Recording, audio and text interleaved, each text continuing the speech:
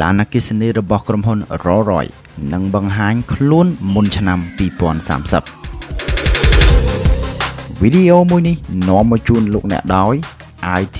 Auto Check ទំនុកចិត្ត100%ក្នុងការឆែករថយន្តលោក Thorsten Muller Owens នាយកប្រតិបត្តិរបស់ក្រុមហ៊ុន Rolls-Royce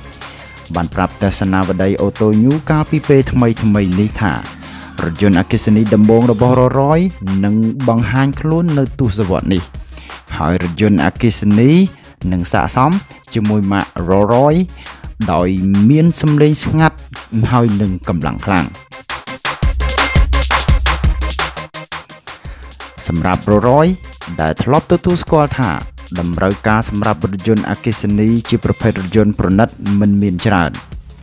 ក៏ក្រុមហ៊ុន បានត្រៀមខ្លួន និងអនុលោមទៅតាម ការហាមឃាត់នេះផងដែរនៅទីក្រុង ទាំង20ទូទាំងពិភពលោក បានប្រកាសអំពីផែនការហាមឃាត់នៃការប្រើប្រាស់រថយន្តដែលប្រើឥន្ធនៈនៅក្នុងទីប្រជុំជន ដែលបង្កផលប៉ះពាល់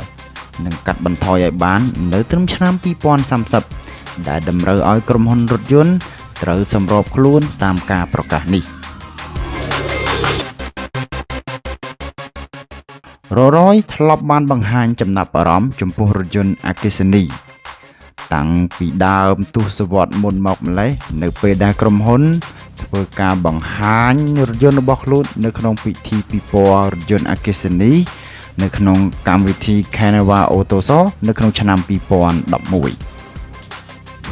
រថយន្ត102 EX Concept អាចជិះបានចម្ងាយ200គីឡូម៉ែត្រនិងផលិតកម្លាំងម៉ាស៊ីន300 99សេះ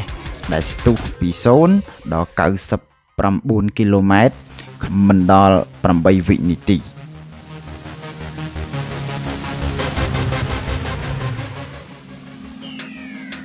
យ៉ាងណាក្តីគម្រោងការរបស់រថយន្ត 102XE Concept ត្រូវបានរំសាយចោលដោយបច្ចេកវិទ្យាអាគុយរបស់រថយន្តមិនទំនើបគ្រប់គ្រាន់នៅឡើយ។ នឹងដោយសារតែររយយល់ឃើញថាវាមិនស័ក្តិសមនឹងម៉ាករបស់ខ្លួន ដែលអតិថិជនត្រូវដកដួយសាកចេញពីប្លុកខាងក្រោយ ដើម្បីសាកភ្លើងរថយន្តវីដេអូមួយនេះនាំមកជូនលោកអ្នកដោយ IT Auto Check ទំនុកចិត្ត100%ក្នុងការ check រថយន្តលោកអ្នកចូលមកទស្សនាកុំភ្លេចជួយចុច like ហើយនិងចុច subscribe នៅក្នុង page Facebook អ្នកលក់ IT